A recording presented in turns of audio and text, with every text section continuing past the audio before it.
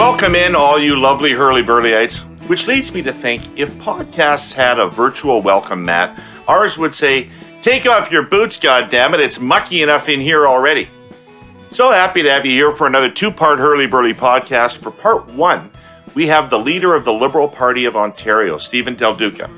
We're going to talk to Steven a little bit about his life, learn more about him, where he wants to take Ontario, the issues and policies he's going to run on, what he means by restoring dignity as an overarching umbrella for his policy process and thinking. Part two of the podcast is our weekly political panel, Scott Reid and Jenni Byrne. They're fun, they're feisty, and like a moderately well tended ficus plant, they're evergreen and hard to kill. We're going to talk about the Julie Payette fireworks late last week, and we'll share our own stories of working with GGs, as long as they aren't boring.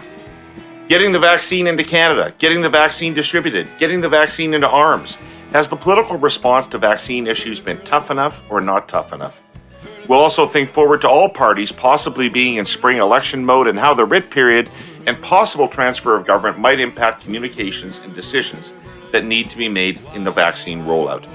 Plus, we'll each throw our hey yous out into the nether regions of the internet and see if anybody takes the bait. Steven Del Duca, I want to welcome you to the Herle Burly. We've known each other for a long time, but it is really great to have you here. Thanks for coming on. Uh, it's my pleasure, David. Thank you so much for having me on. Looking forward to it. Yeah, it'll be fun.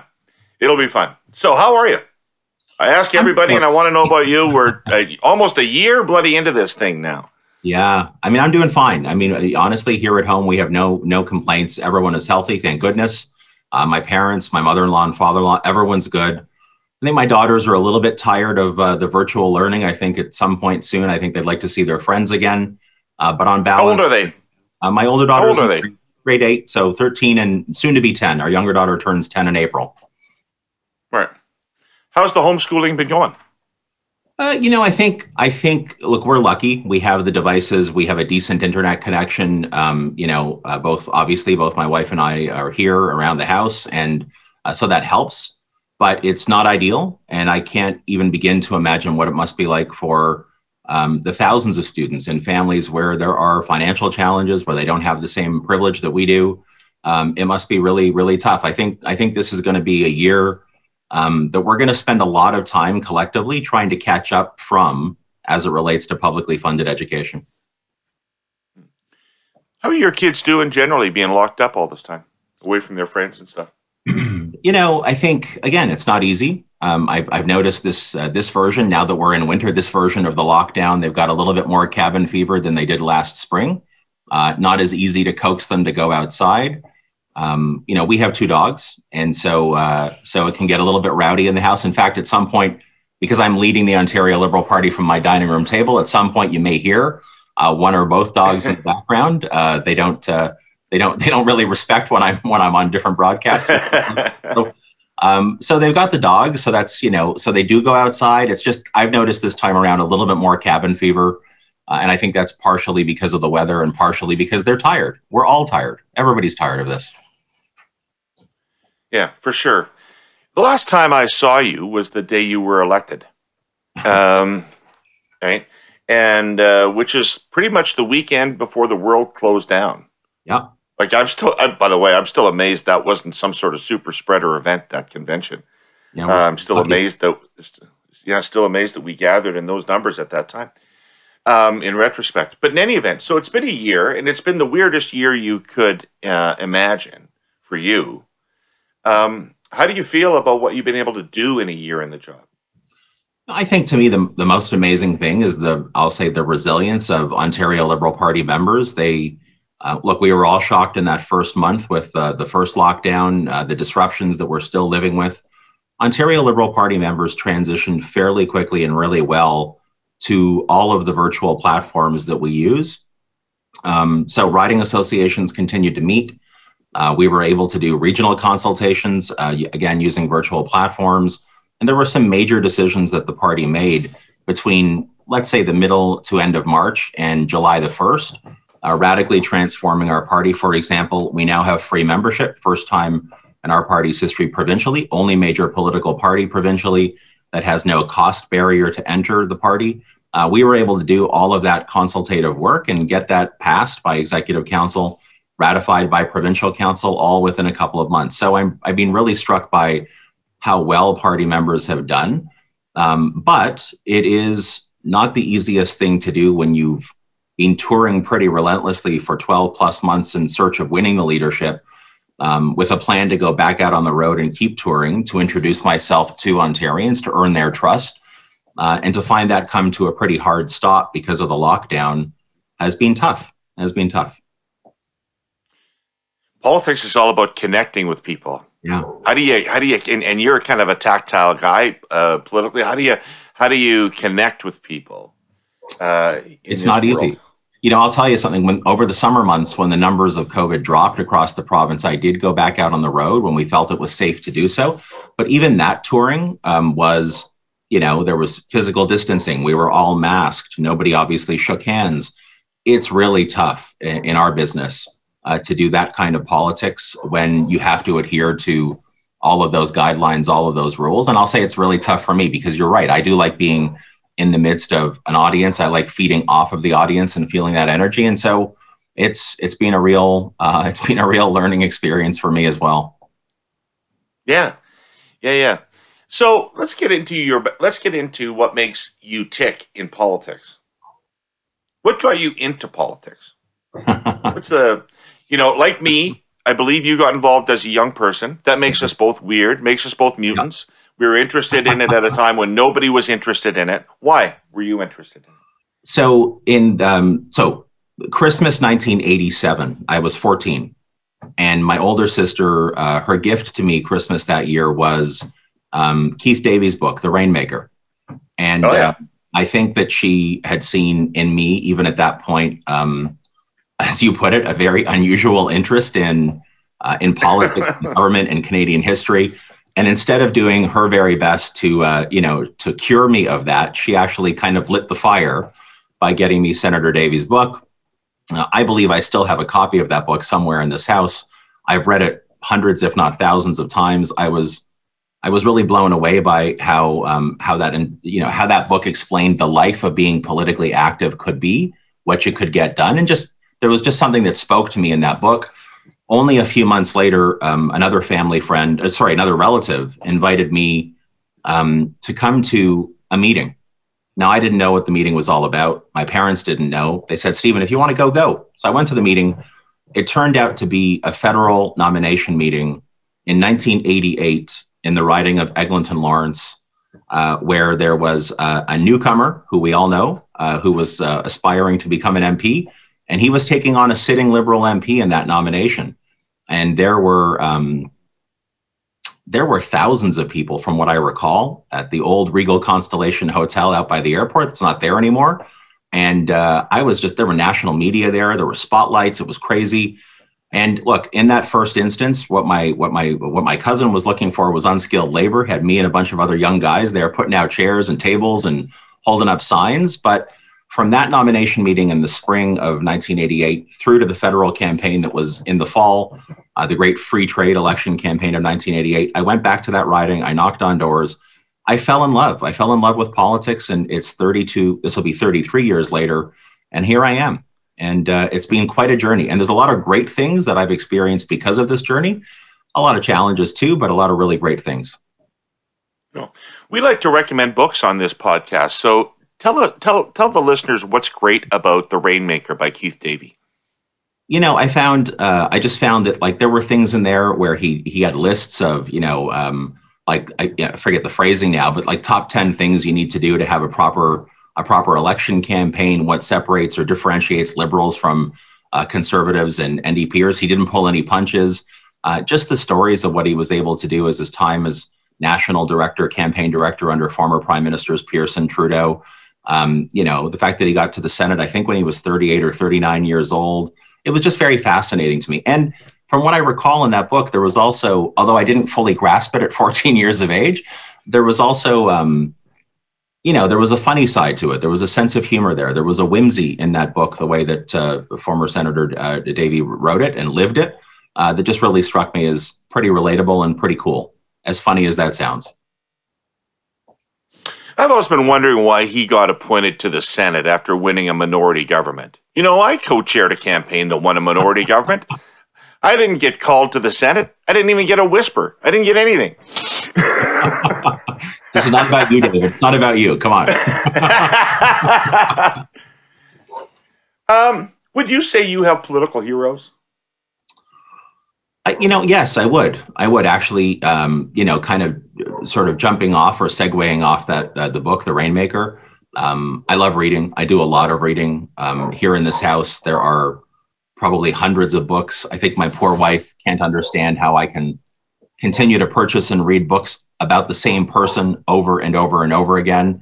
Uh, I love biographies. I love political biographies. And in particular, I love American presidential biographies. And so most of my book collection uh, centers around that. So yeah, I do have some heroes. Uh, FDR, um, you know, and uh, is one that stands out for me in particular. Lincoln, obviously. Um, but yeah, there, you know, there and there are and there are others. By the way, your dog has made an appearance. Charming. Yeah, that's Hunter. That's yeah. our Australian Shepherd. He's in the backyard right now yeah. Two-year-old Australian. Somebody's... Lots of energy. Lots of energy. Yeah, they, that dog needs to run right now. Yep. Yeah. Yeah. Um, okay. So Ford. Yeah.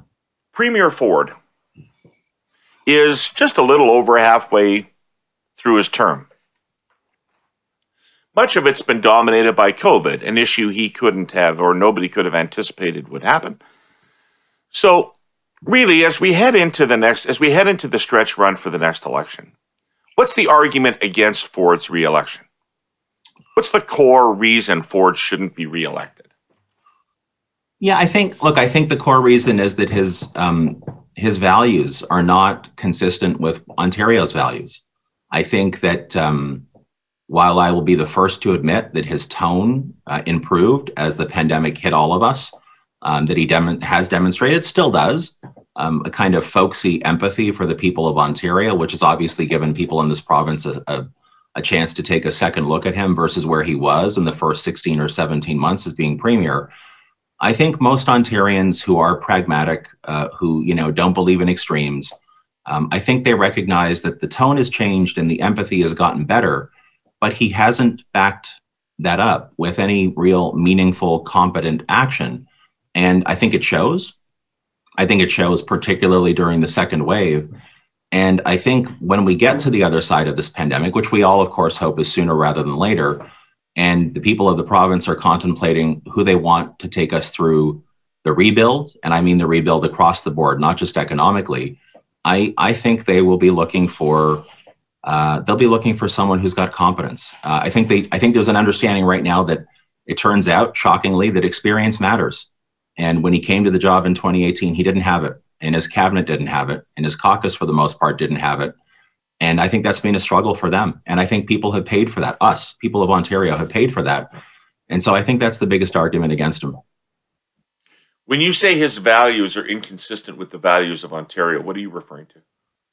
I, you know, I think Doug Ford came to the job believing that um, it's easier than it looks. I think he came to the job believing that it was perfectly fine to look out for your buddies. Um, I think he came to the job believing that the best way to create a prosperous and growing economy is to fall back on all of those really feel good ideas of slashing red tape. I'm putting this in quotes slashing red tape and unleashing the power of the private sector. And uh, everything else will take care of its you know take care of itself.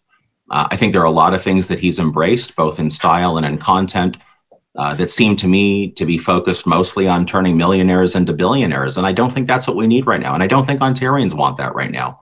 I'm all for wealth creation. I'm all for prosperity and economic growth. But that's only half of the story. And it's uh, you know look we left office in 2018 david and all of the macroeconomic indicators were good.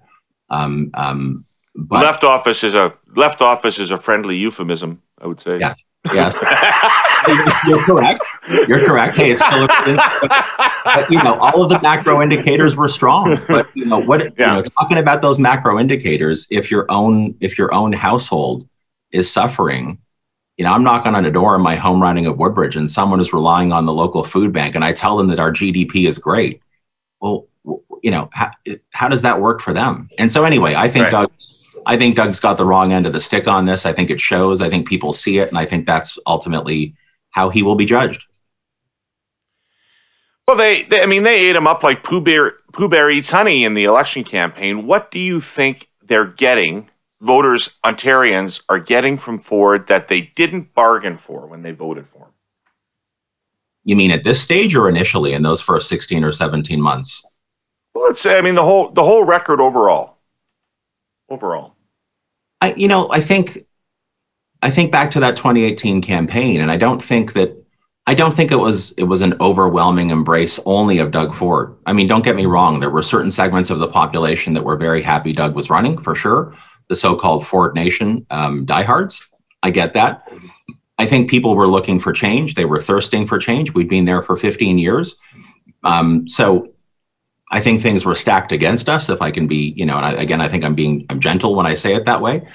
Um, and I think I think Doug tapped into a sense that um, we were taking the province astray and that the fix would be easy. And uh, he found two or three or four really compelling, almost slogans or, or you know, concepts that were very relatable and very retail focused. And I think in those moments, people were were willing to embrace simplicity and you know willing to embrace those slogans. I can't fault the voters at all. Um, and so he rode he rode that to office along with the time for change concept. What I think people have gotten from him is a real mixed bag. Um, but on balance, I don't believe, and I'm talking about separate from COVID. So let's be fair to Doug and take COVID out of the equation. I don't think people in Ontario, on balance, believe their lives have gotten better because of Doug Ford's leadership, unless you happen to be one of his friends, unless you happen to be wealthy, unless you happen to truly not need government to be on your side, because that's who he's fighting for. Right. Seriously, so the last poll I saw said Conservatives 34, Liberals 29, NDP 24, maybe 25. Can't remember one of those two numbers. Why weren't like okay? So we were decimated, 20 percent of the vote, but only eight seats, um, and uh, you know, very marginal presence in the legislature. And then, really, for the last year and a half, because of COVID, very little presence at all. And yet, you and the Liberals have supplanted the NDP as the alternative to the Conservatives. What is going on there, and what is wrong with the NDP that they can't close the sale with people? I mean, obviously, a lot of people who supported them in the last election have drifted away from them and back to back to the liberals. Why is that? Well, listen, I think I've I've learned uh, based on advice from from lots of friends in our business over the years. Um, I've learned to try my best not to live and die by what we see in the month to month, quarter to quarter polling, because I think, especially right now in, in this time of COVID, all of that research is quite scrambled and all over the place. Um, I'm aware, obviously, of the poll you're talking about, but there were polls two, three months ago that had the numbers for Doug Doug Ford much higher, and from you know me and the Liberals in third place. So I think it is all over the place. Um, having said that, I look. I think there is inherent resilience in the Liberal brand here in this province. Um, I think people attach a sense to the Liberal brand of, of that you know that pragmatism, uh, that middle of the road, moderate, um, avoiding extremes, um, investing in critically important things like education, healthcare, clean environment, strong economy, all of those touchstones for us as liberals. And I think it's it's comfortable for a good chunk of Ontario to um, to lean towards wanting to be considered liberal. Having said that, that same poll shows most Ontarians don't know who I am, and we as uh, as a party, and me as a leader, we have a ton of work still to do. And earning the trust of the voters of this province will not come easily, will not happen by default. And uh, I'm very aware of that. As for the NDP, I, I don't know for sure what it is. Um, I think that I think what I've seen through the pandemic uh, and even prior to is that Andrea Horwath and that caucus seem to be they seem to be fighting to maintain what they have. They seem to be more focused on preserving their place in the legislature and less focused on you know what's the best plan forward for ontario. It's like they're auditioning for the job they already have. And i think voters even though they're busy even though they're very disrupted because of covid i think they see that and they feel that. Um, so I, you know, I don't know how, what Andrea and her team will do over the next number of months to try to be prepared for an election campaign. Not underestimating her or them at all, uh, but I think that's the biggest problem for them. Well, well, you're in a different position than them, right? Because you're probably going to draw, if you're to grow and form government, you're going to have drawn some from the conservatives and some from the New Democrats in order to do that. Yeah. Their path to government lies in destroying you and the Liberal Party. Um, that shows. So too. that's that's presumably their imperative over the course of the next year. What do you think they'll do? So, well, look, I think you're right, and I think that goes to the point I, I, I mentioned a second ago. They're they're in a fight to preserve. They're in a fight for the status quo, and look, that shows. If you look at the way that um, they've handled their criticisms of Doug Ford through the pandemic, there's almost always the inclusion of a shot at the Ontario Liberal Party and Steven Del Duca. And like, I'm a big boy. I have sharp elbows. I understand the cut and thrust of politics. Um, I think they're going to continue to try to play it that way throughout, and I think that's I, you know, I don't think voters are going to embrace that. Um, I, I, can recognize when Andrea's got a good idea. I recognize when Mike Schreiner's got a good idea. I'll even tell you if I think Doug Ford's done something right. Um, I just don't. I don't think Andrea ha- and her team, on balance, I just don't think have that level of that level of openness in them at this moment. And I think it will turn off voters, especially coming out of a crisis like COVID. Interesting. Um, Mr. Del Duca, we have to take a quick break for a word from our presenting sponsor, TELUS, and we will be right back. Last week on this pod, our guest, Frances Donald, talked about the important knockdown economic effects of investing in and building infrastructure. Sometimes we tend to think of that word, infrastructure, as a broad construct, and it becomes almost an abstraction to us. It's anything but. Infrastructure means real projects, real jobs, education, and improvements in communities all across this country. Listen to how our presenting sponsor TELUS brought high-speed internet to Quebec's remote Labrador shore, and what that meant to the indigenous women of Pakua Shipi. Barely 10 years ago, women in the village would rarely dare to speak publicly or voice their opinion. Now they're leaders in digital change and drivers of economic redevelopment. After TELUS brought high-speed internet to the area in 2019, the women created videos and animations, language courses, and artisanal, artisanal crafting workshops. Oral traditions and crafts, slowly passed down generation to generation, are now immediately exported across borders to the rest of the world. Not only does it generate revenue for Pakua Shipi, it's cultural preservation. High-speed connectivity is also the gateway for further education.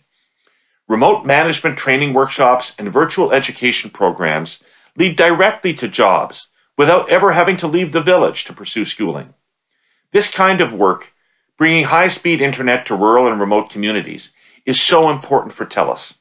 They believe all Canadians should be able to digitally access every opportunity through a world-class network. But the reality is, it's almost two and a half times more expensive on average to connect people in rural communities. So TELUS needs the continuing support of all levels of government to make these builds as economically viable as possible.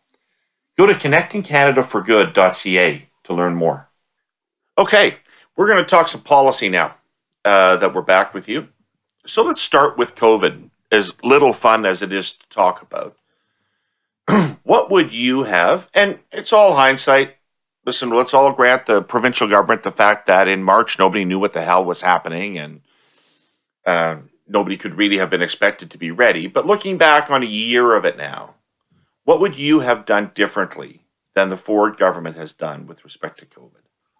So I just, I, I, know you said it. I just want to repeat it. I think you're right. It is all hindsight uh, for the most part. Although if you trace through 10 or 11 months of what I and our party has been saying, you'll see that at various points we've been saying this throughout. Uh, I think from the very beginning, it was really clear that there was no real plan um, to prepare for all of the widespread testing for COVID that we needed and the infrastructure that was required for that. Um, I think the testing and the contact tracing kind of go hand in hand when you look at the places in the world that have done the best in fighting COVID. Those were those were sort of two pillars that were required from the very beginning. Um, I think a couple of other things I already mentioned, or I, I talk about it all the time long term care. And I say this, and I've said this in every interview that I've done. I acknowledge it's a problem that's existed now for many years. This is not a shot exclusively at Doug Ford and the conservatives in any way, shape, or form. But we're now almost a year into this pandemic and it's still a mess and it's still tragic and people are still losing their lives. And um, I don't, again, see any meaningful action happening there. Um, I was a big believer over the summer, and I still am, that the plan that they put forward to reopen our schools in September was totally half baked. It's like they didn't want to make the effort or make the investment required to cap class sizes. Uh, even things like school bus transportation weren't thought of properly. Uh, the mental health challenges, special needs kids. I mean, there was so much there um, that through May, June, July, and August, Doug Ford could have focused on, chose not to.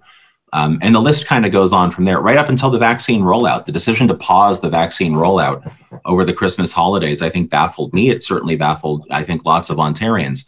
But the central thing that I think has really kind of been shown by Doug Ford throughout the pandemic is that he and his government, and therefore our province, always seems to be delayed and lag behind um, what other provinces are doing um, and what a lot of people with expertise are calling on them to do.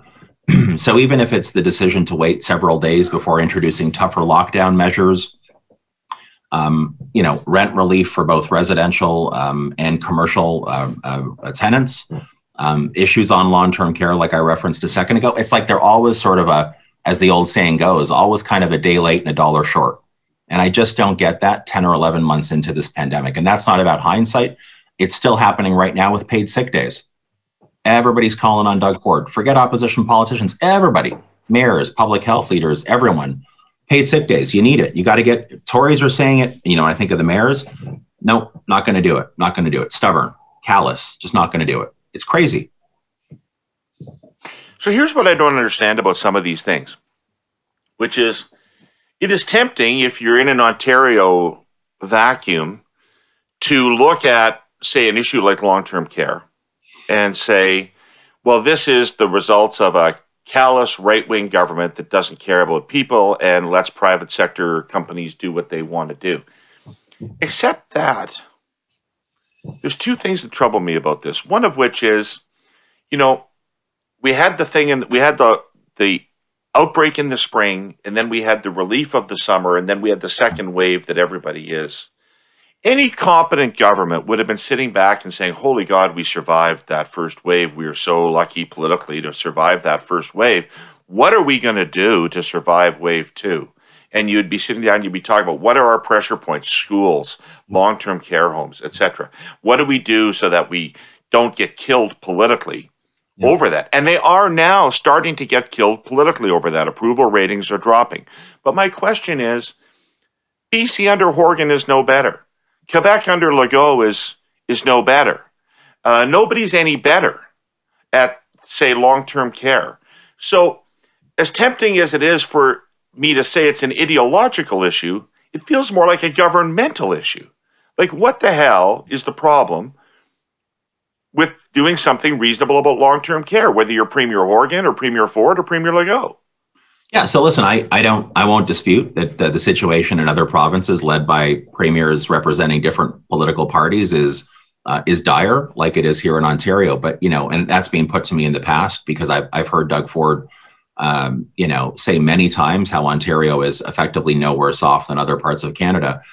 But I live here in Ontario, and I'm raising my family in Ontario, and my parents are seniors, and my in-laws are seniors here in Ontario, and so though I love my country and you know I don't want to see anybody in this country suffer. Uh, my job is to try to put Ontario into the best position possible. It's why I'm running to be premier, and I I'm also really proud of the fact historically that Ontario has led, and I don't feel like we're leading on this issue, and we could be. So, to your point, your broader point about long-term care, I think there's a lot of ageism. I think there's a lot of age discrimination. And frankly, when you look at the women and men, and it is mostly women who work in long term care, I think that because it's women, because a large chunk of that, that working population, they're people of color, uh, they have not been paid well historically. I think it's out of sight, out of mind. And it's easy, it's far too easy for governments, regardless of partisan stripe, to just kind of push the problem into the margins and into the shadows and not be prepared to tackle it. And that's brutal and it's wrong. And it's wrong whether it's a liberal or it's a conservative or it's an NDPer. It's just wrong across the board. Having said all of that, there's still no excuse for Doug Ford's inaction when when the solution to make it better even during the pandemic was apparent. His own commission has given recommendations. He's heard things from people on the front lines. Like it's so clear what could have been done. Imagine that Canadian Armed Forces report came out in May of last year, and here we are now almost in February of the following year. And aside from the right platitudes from Doug Ford in that moment back in May, nothing else has materialized. Nothing. Uh, so Ford resigns tomorrow, and the lieutenant governor calls on you to form a government. What are the first things you do with respect to long term care? So I think, like number one, right off the bat, I think we um, there needs to be a compensation or wage increase for uh, the women and men working on the front lines. Uh, there needs to be an immediate effort to start staffing up. Um, I think the working conditions combined with the wages that those women and men get paid um, have been a deterrent for people who might want to consider becoming a personal support worker or working in other capacities in those homes. And by the way, because you referenced other provinces earlier, um, recruitment efforts around staffing started in, I believe, British Columbia and Quebec way back last summer. And I, from what I've seen, the media reports I've seen, they've had some success in staffing up here in Ontario. To my point about the delays and being a laggard, now we haven't seen the same kind of effort materialize, and therefore the staffing issues are still a major problem. I think the standards of care, the hours of care, uh, I think that's critically important. And I would also say I think we do need to have a really a really important conversation about the private versus public or not for profit uh, model. Um, because I think that's um, while I'm not a believer in simple solutions to every major complex problem, and I don't want to oversimplify, I do think there's there is an issue we should probably take a look at as a province in that. What would be an argument for keeping for-profit long-term care? I mean, I think the I think there's you know a twofold argument that you could you could um, you could use. Number one is what kind of contractual arrangements exist or licensing arrangements exist today, and untangling those. How difficult or costly would that be? I suspect I suspect they would be both difficult and costly. And frankly, instead of instead of spending money to get out of those contracts or licenses, I would rather invest that money in the system that we have right now. So that's number one. Um, of course, that doesn't prevent someone from saying no future contracts or licenses would be let to the private sector. Maybe that's a way right. of you know, phasing out the private the private homes. Maybe. Um, I think the other argument would be that we have a capacity issue in the system right now. We don't have enough beds. We don't have enough staff, and so by trying to remove an entire chunk, and I think the largest chunk of the sector in the middle of a crisis, um, could actually create even more disruption, and we don't need that right now. Yeah, my concern about giving them more money, Steven, would be that in during the pandemic, when they got public money, they didn't improve service; they distributed it to their shareholders. Yeah, it's a horrible problem. That's why I think we have to have the conversation, um, and I think it's it's got to be a conversation that goes beyond just the pandemic. But we've got to deal with it in the pandemic right now. So, for example, if I'm not mistaken, the wage increase that's being promised to personal support workers in those homes, some of whom haven't gotten it yet, as far as I know, even though Ford has been promising it for quite some time If I'm not mistaken, that's supposed to expire in March of this year. I could be wrong about that. I don't know if it's changed, but regardless, why is it expiring? Is is the issue in long-term care suddenly going to be fine in April if it's expiring in March? Of course not. That compensation, that wage increase, that shouldn't be temporary. That should be permanent. That shouldn't even be a discussion point at this point in in dealing with the crisis, but it is for him, for Doug Ford, not for me. What's what's a, a non-COVID policy area where you really disagree with Ford? Isolate a big disagreement between you and Ford on something other than COVID. I, I don't think Doug Ford and his team value publicly funded education at all. I don't. I don't. I don't know what it's. I don't know what's there. I don't know why that's the case. They don't get it. They don't understand that it's not. It's not just education policy. It's not just social policy, though. It's both of those things. It's fundamentally economic policy. I think all of the disruption and churn we saw in the system prior to COVID is evidence of that. I think the way that they uh, continue to disrespect people who work on the front lines in education is evidence of that. And I think that's what's that that is what poisoned their lack of effort and interest in developing a real plan to reopen schools safely last fall. And that like that's just it's unconscionable to me um, that you wouldn't recognize that when you're a premier in our province when you're a premier in our system, one of your most profoundly important responsibilities is publicly funded education. And that includes post secondary skills training, lifelong learning, as far as I'm concerned. And Doug Ford just doesn't get it. And I don't think he ever will. Well, it's hard to know the value of education um, when huh. you. Anyway, I'll just stop. Uh, um, let's talk going forward a little bit. Sure. You have uh, announced a platform development process, um, and uh, you did uh, some a round of interviews. I guess I think I read Martin Regg Cohn, right. where you where you talked about you know obviously the policies are going to be developed through this platform process, but the overarching theme of it is dignity. What do you mean by that? Look, and this was a really important I guess, pillar of uh, what I said during the leadership campaign as well. I think that we have, and we talked about this earlier in today's interview. I think we've we've always done well in this province to focus on those macroeconomic indicators, economic growth, unemployment, um, GDP, all of you know, net debt to GDP ratio. We, I'm, as I'm saying the words, my eyes are kind of glazing over because, and I don't want to disrespect, uh, disrespect how important those indicators are so I think we've demonstrated we know how to create prosperity as a province and economic growth. I just think that, you know, and I say this, pri- I said this prior to the pandemic, but I think it's even more apparent during the pandemic. I think the other half of that coin, the other half of the prosperity coin has to be dignity. When we create wealth, when we have growth, when those macro indicators are strong, we got to make sure that what we're creating is more broadly and fairly shared. Um, I did a radio interview the other day, and uh, the the host was coming at me pretty hard on the. You want to give dignity to people. What what are you taking away from other people? And I, I you know, it was a radio interview, and I just said to, I don't. Why, why do we start the conversation off from a position of conflict? I don't feel that there's a conflict there, and why does it have to be we're taken away from? We're you know the notion of we're taking away from someone to make sure that people who are working hard are not falling further and further behind. Uh, and to me, it's actually a pretty fundamental Ontario concept. It's what my parents signed up for when they arrived in this country, you know, half a century ago. Come, work, be tenacious, play by the rules, do what you need to do. And in exchange for that, you're going to have opportunity. You're going to be able to find a, a job if you want. And if you get that job, you're going to have some kind of workplace benefit. You're going to have some kind of net beneath you. If you're you know you got kids and they're going to a school that school is going to be properly funded. If you need healthcare it's going to be relatively close to home accessible and easy to navigate. And you know your air is going to be clean and your water is going to be clean. And my goodness what a concept. If we can't deliver that in a province as prosperous as ours then what are we doing? Have you have you read the book dignity by a guy named Chris Arnade i have not I have not.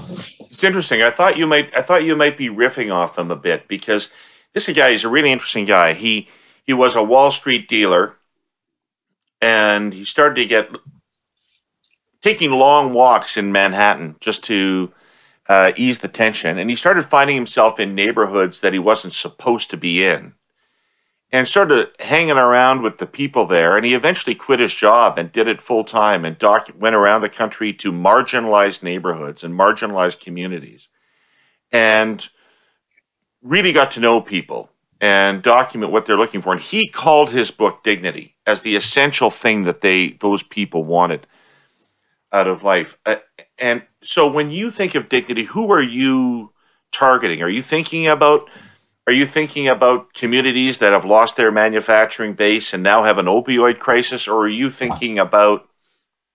Yeah, you're nodding your head. Like no, yeah. I mean, I, I think I'm actually thinking about most Ontarians. What I believe is most Ontarians. I really do. Um, I think yes, and you know it's interesting. I when I was running for leader, I because a federal election campaign kind of landed in the middle of our of our leadership journey. I I had the chance to go knock on doors. So obviously, I've been knocking on doors in GTA ridings most of my political sort of life, 30 plus years.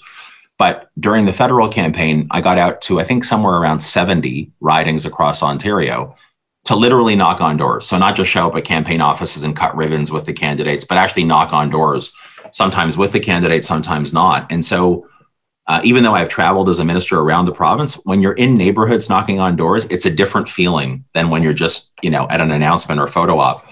And it was a real eye opener for me that um, there's, in a in a bad way, there's incredible economic diversity in this province. And that's a weird way to phrase it because diversity is a thing we always attach to as a good, and it is a good when we're thinking of, you know, ethnocultural diversity. But there are a lot of people whose situations are dire.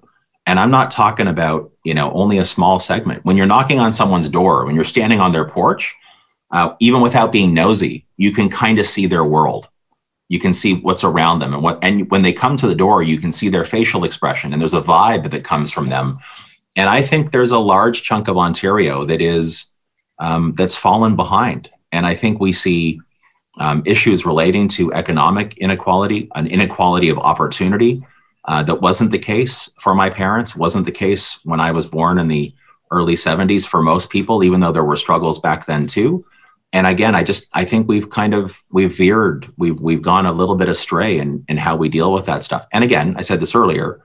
I think Doug Ford's style of governing, in particular, um, is a throwback to a to a period that doesn't exist anymore. Okay. Let's move to some let's move to some hot button issues and and see where we land on these things. You mentioned sick days. What should the policy in Ontario be on sick days? During the pandemic, I think there should be a provincially funded um, paid sick day program of up to 10 days. It should be easy to navigate. It should be it should be very accessible. It should be like your paycheck doesn't end, Un- unlike the federal program where you've got to apply and it takes time. Uh, so during the pandemic, I think 10 paid sick days is the standard, paid for by the province, no more burdens on small business. I think the bigger conversation on the other side of the pandemic, obviously, we produced two days of paid sick leave when we were last in power. Doug Ford got rid of that uh, I think it is a conversation we we need to have. I part of what's really important to me around the concept of economic dignity is what kind of workplace benefits no longer attached to workers in large chunks of the, uh, the, the the population, and what can we do to give them that kind of floor of support? And paid sick days should be part, I think, of that discussion. Right. Well, you know, I mean, you touched on it when you talked about the people you saw when you were door knocking, about the dignity theme, and then, um, I mean, there's a real issue now with working poor people, right? right? And especially among the younger generations who aren't getting jobs the way you and I knew jobs. Those right. kind of jobs are mu much more rare. And I mean, you can work your ass off these days if you're 25, 30 years old and not be making any bloody money yeah. and not have any benefits and not have any protections and uh, yeah, and you can't afford housing, and you you know you can't like there's a whole bunch of there's a whole long list of things that um, and look, I'm not saying anybody should be handing anyone anything. Like don't don't forget part of the part of the bargain that my parents experienced was you got to you got to do your part. You got to want it. You got to show up. You got to work, right? And it's not easy, and you got to make sacrifices. Like I'm good with all of that, but but the bargain that used to be at the heart of Ontario's let's say Ontario was if you do that, if you do your part, you're not falling further and further behind. You're not struggling the way that you know people today do have to struggle. And I don't I think on the current path we're on, it's only going to get worse. And then what what concerns me most about the aside from the empathy I think govern you know, people who are governing should bring to this discussion is income inequality left untouched over time leads to the kind of polarization and therefore the political um, the political ruptures that we see in different parts of the world, and not to be melodramatic, including what we've seen recently south of the border. And I don't know any Ontarian in their right mind who wants to go down that path. Right. Um,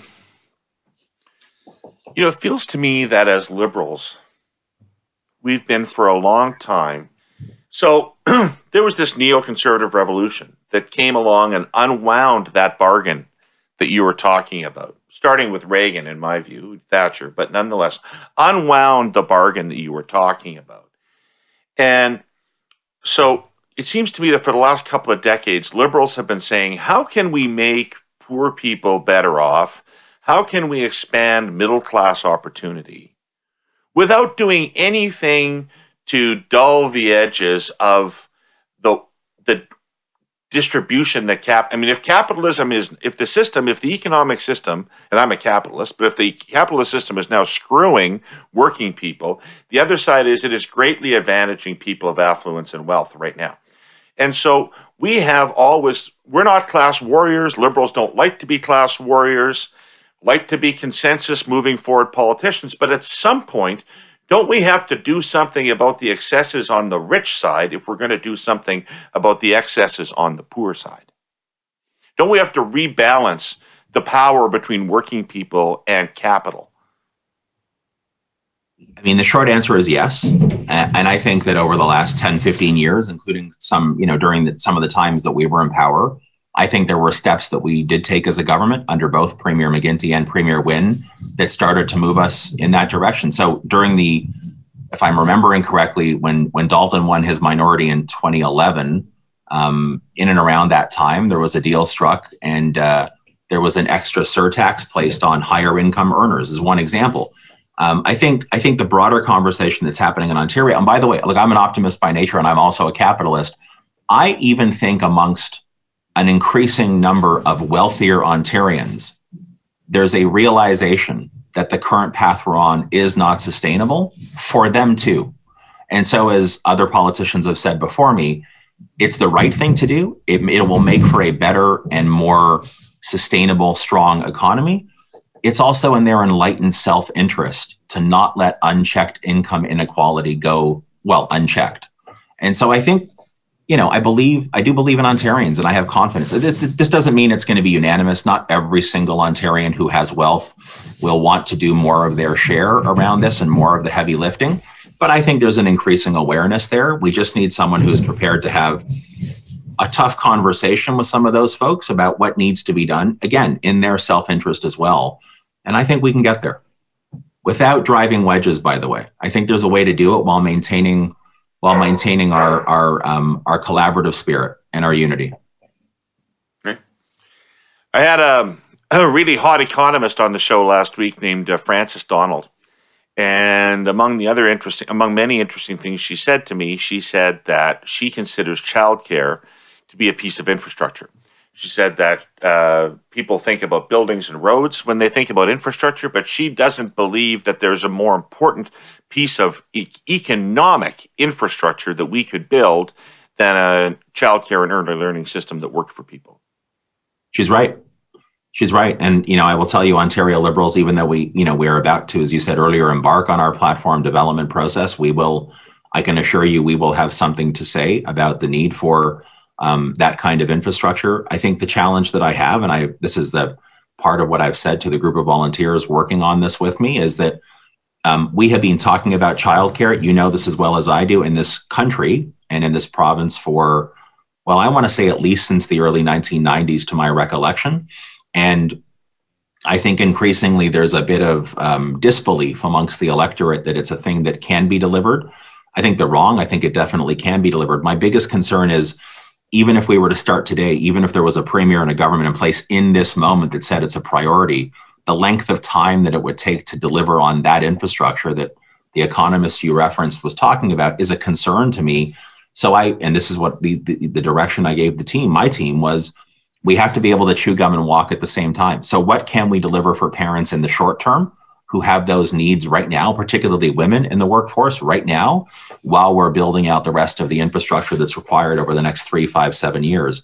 Uh, and I think we have to be able to do both. I think we also really quickly, I'll say, need some degree of optionality. I hate to use that term, but if I can within the system, because not every family is the same and not every need is the same. And I think that kind of infrastructure can be, it should be agile enough to respond to the different kinds of families that we have and their needs.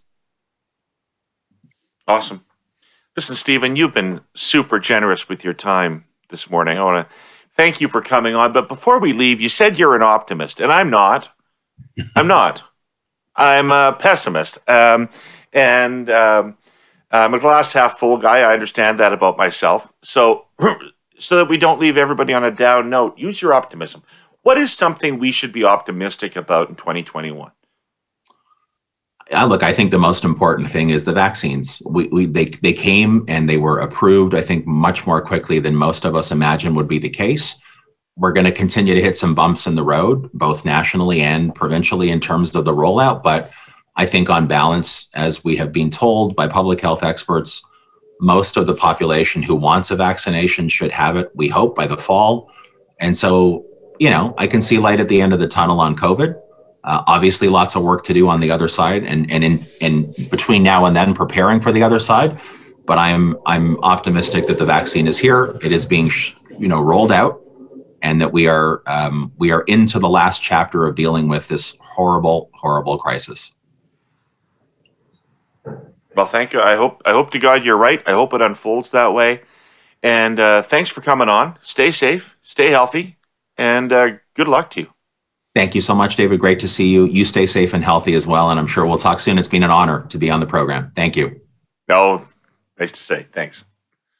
Let's do it. Okay. Jenni, Scott, Tuesday morning. Look at this. We're rolling. Oh, yeah. Jenni, how uh-huh. are you? Uh-huh. Look at your shirt. I'm doing great. Woo! Flying colors. Look at that. Go Habs, go. And are they going or what? They're flying, man. They are flying. A player player of the week for the NHL. When he scored 30 goals. They're fast. I mean, they're on. skilled. They're going to be a handful for anybody this I, year. I, as I said, if if this is my brand new first time I've worn Carey Price jersey, and if they lose on Thursday night, I will never wear it again this season. Okay, so this is one of the coolest shirts I own, Jenni. This is Montreal Canadiens Fantasy Camp 2000. So oh. old people will remember that there was a guy who played for the Habs in the 70s called Murray Wilson. And Murray Wilson has spent the rest of his life putting together an annual Habs fantasy camp. And my older brother William went in 2000 and they hold it up in Tremblant, and you spend, they gather everybody who's anybody in the Habs world. And you spend uh, a week uh, playing golf with them and playing hockey with them and having dinner with them. It's unbelievable. Minus my brother the golf, got, minus the golf, it sounds amazing. My brother got to center a line between Lafleur and Shutt. Wow. I'm speechless. So there you go. Yeah. I know William, and I find it hard to believe. I mean, he's a lovely guy, but I just don't think he's got the hands. he does not have the hands. Doesn't have those sweet Pete Mahovlich hands. hey, so listen, I you guys, I don't know what's going on in the world anymore because it appears that these days, if you don't show up for work and if you abuse your staff, you can lose a government appointment. I didn't know that. Seems unfair and certainly, this is a rule that has been created since I left politics because it was not in force in the no. 1990s when I arrived in Ottawa. That is for sure. Julie Payette, how did that happen? Somebody tell me how that how did that happen? Well, they they appointed her because she was a celebrity uh, and didn't properly vet her. Although it didn't seem there was, it didn't seem there were like deep dark secrets. It seemed it was like pretty well known uh, her uh, uh, personality problem. So I think that it was just chosen to be overlooked, whether it was her, you know, uh, rumors about her divorce proceeding versus the uh, her time at the Montreal uh, Science Center. It seems that Julie Payette, it, it, shouldn't have been a shock um, as to what we kind of have heard uh, in the allegations, but we don't really know what the allegations are. We are assuming the worst. I actually think it was a stroke of brilliance by the Liberals last week, whether they it meant it or not. Is so we are in a position where um, Pfizer announces that they're cutting vaccines to every country, um, some by 18%, some by 20%, us by seemingly 75 to 100%, and everyone. All the media are falling over themselves to talk about Julie Payette a report that hasn't been out yet. I assume this week, when when we have some other bad COVID related news, uh, that, that the they're actually going to release the report, and we'll find out. You know, when when she threw her shoe down the stairs at a staffer, that's what we'll be talking about in like a couple days. So you think it was deliberate? You're like. We got eight more weeks to go to March, so like, look out, Supreme Court justices. One of you is going down each week. I, I listen. I I would like to say I, I I think it was deliberate, and it makes me think more. Uh, it makes me think more of uh, of the PMO and how they handle issues management. All right, I don't think it was deliberate. Sorry, Dave. So no, I was, I was so I got a machine. My question when I say how did it happen, I have actually got a machinery of government question for you people that have worked in government. You too. people who've worked in government. So everybody's talking about this as if the Trudeau saw a photograph of this woman, said, hey, she'd be fantastic, and the staff didn't do any checking or vetting, and they just went ahead and appointed her. My question is let's assume that all happened that way. What was the PCO doing? So people have talked about, oh, Trudeau dismantled the Harper vetting or recommendation process, recommendation process for GG, and that looks like a mistake, at least in retrospect. But wouldn't isn't it the PCO's job to do things like this? Wouldn't they be investigating the choice for governor general? Wouldn't they be making recommendations, issuing warning signals? Like it isn't just a group of three people in the PMO that that are involved in this. No, like look, and they did. And just because Trudeau scrapped that recommendation panel, whether you think that's a good thing or a bad thing, doesn't mean there wasn't due diligence done. I mean, so I don't think the scenario you talked about is the one that happened. I think due diligence did occur, and they uh, they blew it off, um, or something happened. I don't know. Did somebody have a warning conversation with her or whatever? But you know, my favorite part of the story is that according to media reports, it was Chrétien that suggested her. Right, but you know, on the face of it, you go, look, she's a a francophone, a female, a scientist, an astronaut, a hero. She sounds like she's great, but I just, I love. So, you know, it's not unusual, like Chrétien suggests her and somebody else, you know, but they still do the due diligence. I like to think that, I like to imagine, though, that, you know, Trudeau's sitting in his office one day and he gets the due diligence report and he calls Chrétien back up and says, Hey, I've, I'd just like to get your advice because I got quite a, quite a hot one here. Like I, you know, they've sent back this due diligence file and they say there's problems. And like Chrétien is like, well, what kind, you know? And they would be like, well, you see, she's very abusive to staff. They say that everywhere she's been, like Jenni is saying, you know, and at the Science Center in Montreal, she's very abusive to staff. Ah, pas de problem. I tell you, I used to hit Hetty with the Soapy Stone sculpture every time he say the Stink Society. It was funny. We laugh. He go to the dentist. He come back all better. We have good time. It is no big deal. Pas the problem. What next? You know, and they're like, well, you know, gee, boss, uh, you know, uh, Mr. Chrétien, uh, I got to tell you, they say that. Um, she tried to run her husband down during their divorce, and she got in a car and tried to hit him. She was actually charged with domestic. Didn't, I uh, thought didn't didn't she stab him in the shower? I thought it was she tried to hit him with a truck. No, that know, was like, no. She killed. That was someone else. She hit, hit in the car. well, that's even less. But you know, yeah. I anyway. I, I, I, just, I, believe. I believe poor Billy Flynn was in the shower one day, and like she was like, she oh, went at him with a oh, knife in the shower. Oh, Chrétien would be cool with that. Small on the tear. I hit Donald Allo many time with the knife. hey, smile. We go back to work. It's no problem. Make her GG. I told Romeo, come on, don't kill nobody. Get into the job.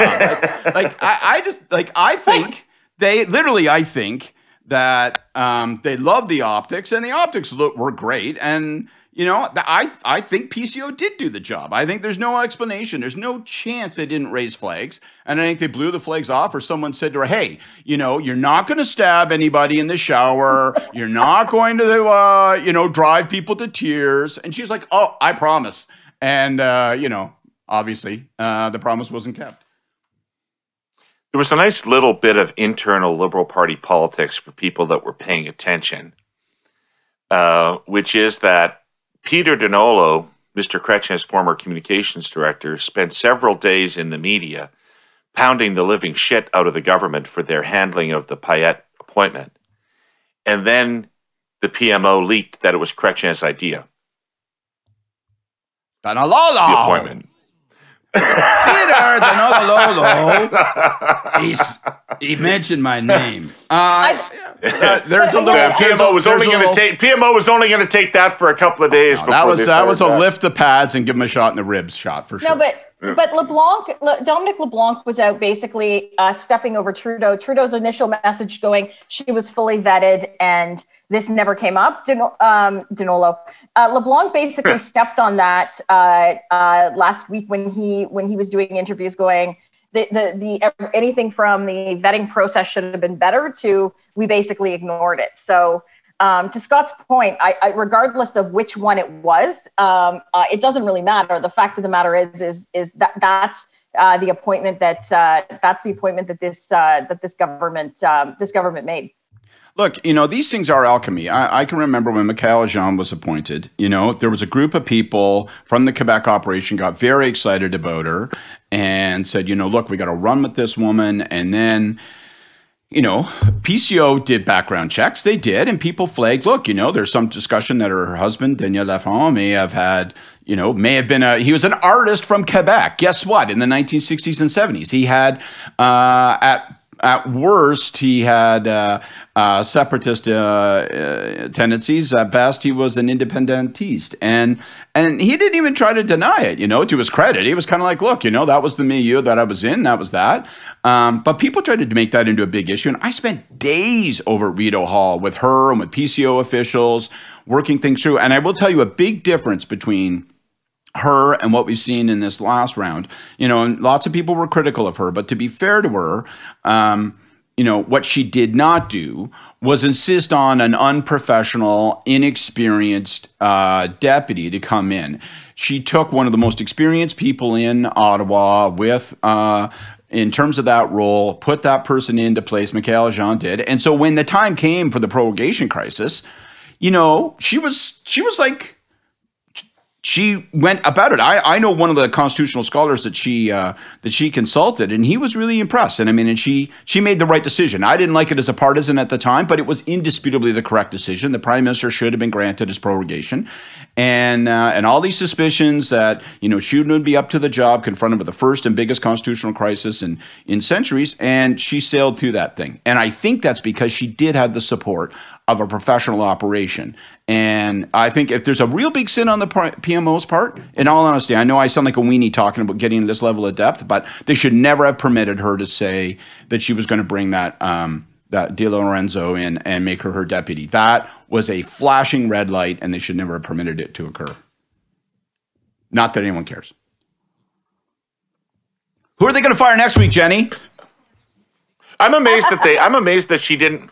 I'm amazed she didn't want the job uh, very much. Like she didn't like to do the job or anything like that. Because Adrienne Clarkson liked her job so much, liked her job so much that in like 2000, around 2002, she started subscribing to the, as we call it in Southwest Saskatchewan, the Little Leader paper, which is the weekly paper from Leader, Saskatchewan, which covers the neighboring town also of Prelate, Saskatchewan. And she started in about 2002 subscribing to the leader paper and sending it to me every week, uh, just as a courtesy. well, she clearly was. that was that was the sugar and salt uh, strategy because I got the salt. Uh, she didn't like me. Madame Clarkson was not too kind to me. Uh, she didn't. Uh, she didn't think much of me. She thought I was one of the uh, rampaging uh, Philistines coming in to uh, muddy up Rideau Hall with uh, my vulgar thoughts and uh, and a scruffy man. That was only but, her. That was uh, only her publicly expressed opinion after she was not reappointed. No, she kept she those thoughts to herself until she wasn't reappointed. Yes, Voltaire's bastard. Yeah, great. okay, enough of the GG. Back to COVID. We got to go back to hmm. COVID. Jesus. Uh, the vaccine story continues. The daily ups and downs, as uh, Bill Fox was telling me yesterday, it's box score coverage. Every day you add up who got what vaccines, and you either every country either wins or loses the day, um, depending on the day's reports. How is this uh, playing for the libs so far? Well, I think it's playing fine, but like win or lose the day, I think that we're only Canada's only losing the day. Um, so I, I think that politically it seems to still be going fine because the, there's a narrative out there that you know there's so much you know throwing of mud on the wall that uh, uh, uh, that people haven't realized how far behind we are on on the delivery date. So the Liberals are still saying that every Canadian that wants a vaccine will be vaccinated by um, will be vaccinated by uh, uh, September. But I don't, from a logistical point of view, see how that's possible, both from the delivery point of view, but most importantly from the supply point of view. Like, so Pfizer has basically come out and said Trudeau had his first conversation with the CEO of Pfizer. Um, and he is basically, they have come out and said, oh, we'll have our 4 million Pfizer doses. That's Moderna separate, but we'll have our 400, we're, we're 4 million uh, Pfizer doses by, um, uh, by the end of March. But I actually think that's just kicking the can. I, I don't think there's, I think that like, as the weeks go on, where it's, I just don't see how it's logistically possible. But you're okay. So, just on the substance of it, you're making an assumption which I think is incorrect and has been proven incorrect already, which is that this is some kind of static situation when it isn't. It's dynamic. You get new platforms will be approved, more drugs will come on. You're going to get shuffling of supply. So, I, I'm not convinced. I'm, and I'm not saying that. Um, I'm I'm not saying that there isn't a huge political threat here, and I'm not saying that you know we're we're lapping other countries. Um, although I think we're only fifth or sixth when it comes to the G20, so it's not like it's it, you know we're at the bottom of the barrel either. But I, I think that we're going to hit a spot. I, I I think the real political jeopardy is sort of now till April May. I, I I'm working under the assumption that additional approvals, freeing up a supply, once we hit kind of late March, April, you're going to start seeing many needles into many arms, people of many walks of life and many ages, and that's going to that's going to obscure that. It's going to feel like it's it's unfolding. Maybe I'll be wrong, and we'll see. Um, but I think I think the window of jeopardy is between then and now. And so far, this has been a window of jeopardy since the beginning of December. And so far, I think the government has managed to stick handle its way through this with some success, aided by an imprecise focus and sometimes a tonally misfocused response from the opposition. And um, I think now with the House resuming, albeit virtually and so forth, I think it's going to be really, really, really interesting to watch to see what, how does the opposition, in particular O'Toole, how do they concentrate uh, their fire on this issue? Where, like, what's the lever um, that um, that unlocks the political vulnerability for Trudeau without seeming like you're cheering failure on this most important and vital public good, right? And I think that's it's always the balance with, for opposition. I think there's a real delicate balance here. And uh, and I think so far O'Toole has gotten it wrong. I think he's been unfocused on the issue, and I think when he has focused on the issue, he sounded too severe, too damning, and I, I think he's got to find a different register if he's going to actually turn this into a vulnerability for the prime minister and a win for him. I don't think he's been unfocused at all. I think he's been nowhere on the issue, which is part of the which is part of the problem. And so, um, I, you know, Canada is yes, we are we are in the top five percent of G20 countries. Uh, we're also behind Iceland and Ireland and, and other uh, other countries, which I think Canadians would be shocked to think that we are behind the, the difference is is that they are not having their uh, they are not having the vaccines sh- shorted to them like we are going to have in the next uh, in the next several weeks. Uh, it's go- it, it's gone from we're, we're going to get 50% uh, is what Pfizer said originally to 100% we're not getting next week. And I don't think anyone is cheering on uh, th- this this is the problem with this debate. So I don't think anyone is cheering on not getting the vaccines. I would love for nothing more than Justin Trudeau to succeed at vaccinating everyone as quickly as possible. I would love to give him kudos for that. Um, but the fact of the matter is, it seems that that's not going to happen. Israel is going to have every single one of their uh, uh, every single one of their citizens, 16 and over, uh, vaccinated by uh, the end of March. Why is it that uh, Israel uh, didn't lose any? Uh, was not short, it was, we did not have any of their uh, vaccine supply uh, cut off when uh, the European plant, uh, the Pfizer European plant, um, had to halt um, had to halt production. Is it because Bibi had 17 conversations with the CEO of Pfizer and Trudeau had none? And so I think these are questions that I don't think it's it's the opposition wanting failure at all because I think I think everybody wants this vaccine, um, but I think they're legitimate genuine questions, especially considering the liberals seem to be ramping up more and more that uh, they're getting ready for an election campaign. Well, let's set aside the, the, the election campaign. I'll just I'll add a footnote to that. I, I of course there's legitimate questions.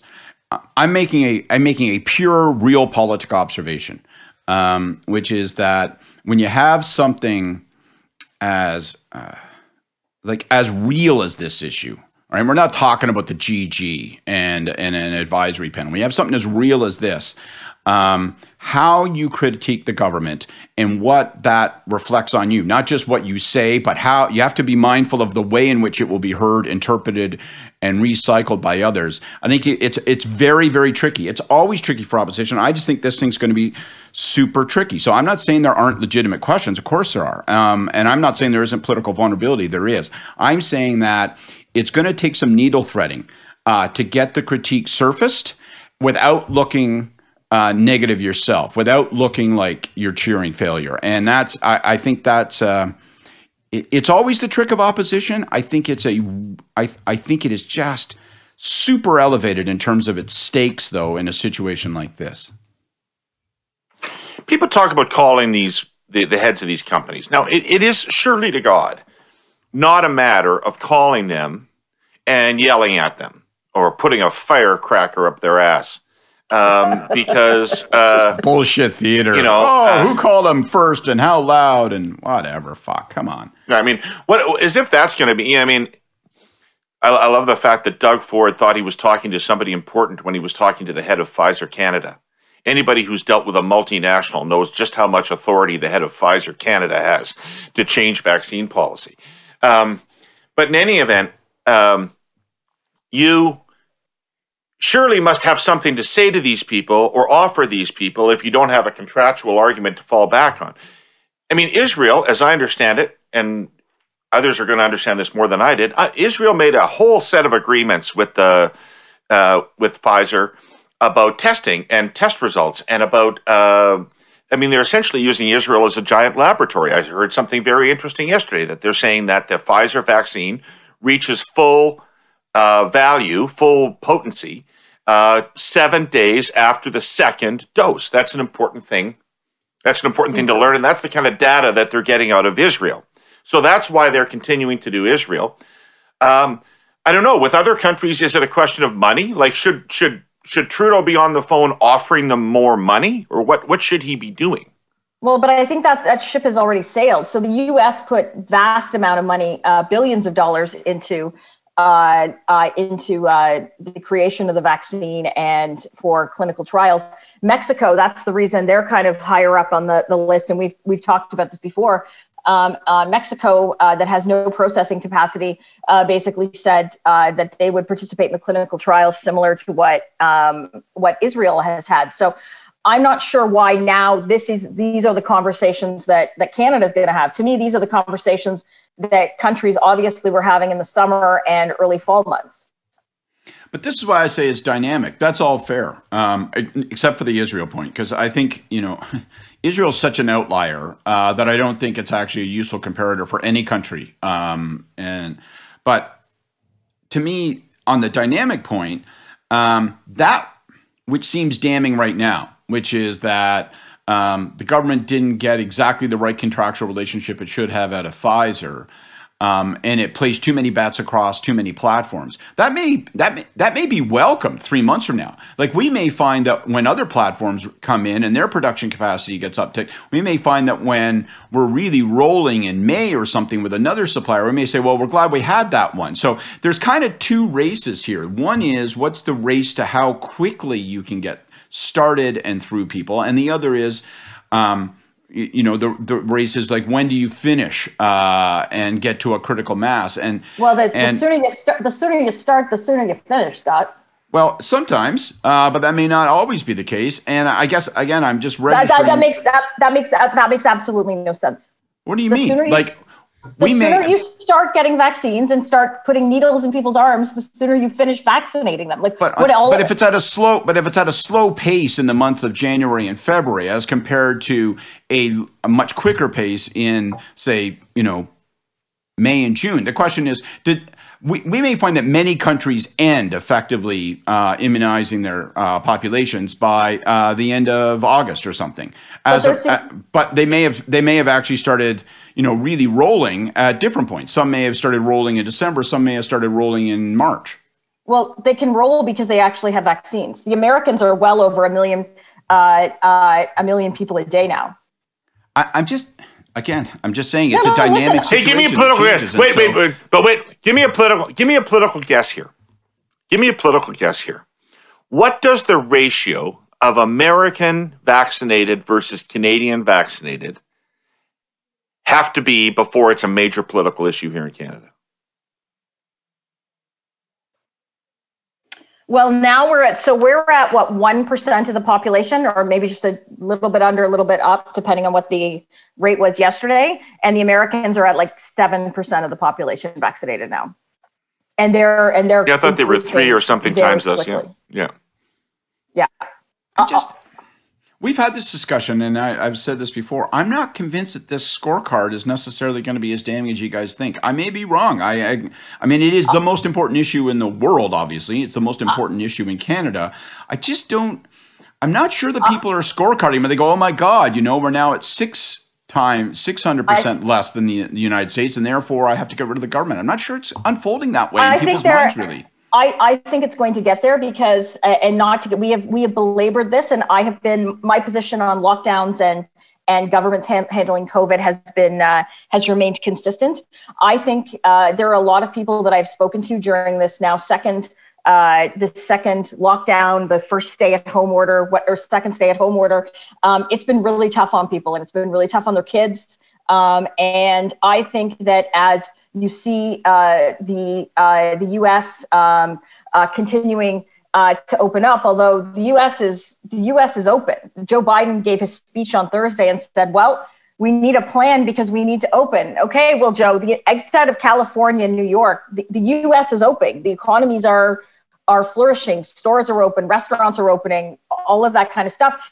In Florida, you can go to there's locations where you can go to a Publix, which is the local uh, grocery store that you hit every five miles in uh, in the states, and and uh, uh, you can make an appointment to get a vaccine. And so I think as Canadians see more and more of this, I think their patience is going to, uh, and as the winter uh, goes on, I think their patience is going to uh, is going to is going to wane.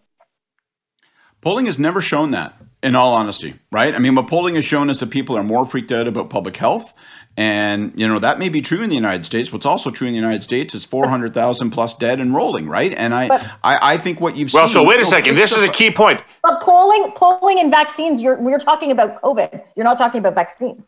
No, I was talking about COVID. I mean, indisputably. Scott, I cut you off, but let me throw this in. Let me okay. I cut you off, but let me throw this into your mix of your run because it's where you're going, which is how does it change the dynamics in Canadian politics that Trump is gone? And that we can expect a more uh, conventional, professional, competent approach to COVID in the United States. So almost nothing was bad in Canada when you compared it to the United States over the last 10 months. So it was almost a freebie for Canadian governments. It feels to me like this is a different dynamic now.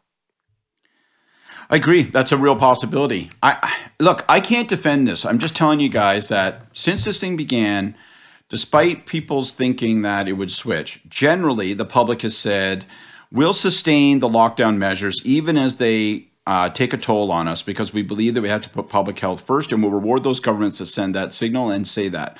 And I, I have a feeling that this idea that we're going to look and see Biden is vaccinating people quicker than is happening here, and the notion that then people are going to say, well, I've now I now want to overthrow my government. I just don't think that's going to happen. I just I I don't feel that's the measuring tape that people are holding up to the federal political leaders right now. And, and again, I, maybe I'm wrong, but I just don't think it's happening. Well, let, okay, let me follow up. Je- I think that, Jenny, let me just throw this. Sorry, you, go ahead. go ahead. I was no, going to say, ahead. okay, well, what is what is hurting Ford's numbers now? Then, I mean, if it's not like, I mean, he is. People are judging him differently than they judged him, and there's a a huge downward slope in most premiers, and Ford is no mm-hmm. exception, their approval for handling of COVID. Um, so they've been judged on things that they're failing at. The federal government was judged on things it succeeded at early, like CERB. Why wouldn't it be judged politically on this? People are making other political of judgments on the basis of COVID.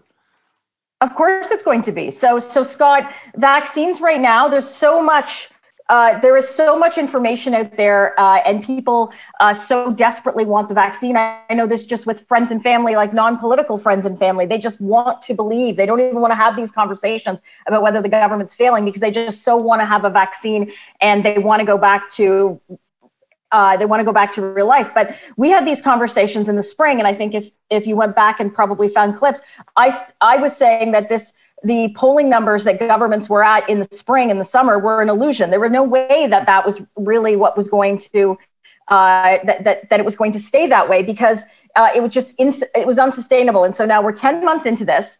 Um, February February 1st. Uh, so we've just had the the anniversary to the first case that came uh, to Canada that we know of in the last couple of days. February 1st is the day that um, uh, John Tory and just Justin Trudeau uh, went for dim sum and uh, told everyone that uh, calling for uh, the border to China to be closed was was racist, and there was no evidence that COVID was going to spread in high numbers in Canada. I think that's February 1st. Um, and so I think that it was inevitable. I, I don't think there's a shock that uh, political po- the politicians uh, like Doug, uh, who went out there and was colloquial um, uh, in uh, uh, in the spring, are getting judged now because people know more of what's going on. And so, to that point, Scott, Justin Trudeau may be benefiting now from people wanting to have some hope, which is what I think people across the country want it with provincial leaders back in the spring. Um, and when they're actually going to be judged about where we're at in six months, I think that the polls will. Uh, I think the polls will be reflective of that, and I think Canadians will be reflective of that in the next uh, two to three months. I hope Justin Trudeau. I hope what the Liberals are saying is correct. I hope that uh, uh, we get the doses uh, in Canada, that what they're saying, uh, but based on the fact that we're sitting at almost February and where we're at in terms of uh, vaccinating people, I don't see it being being a possibility.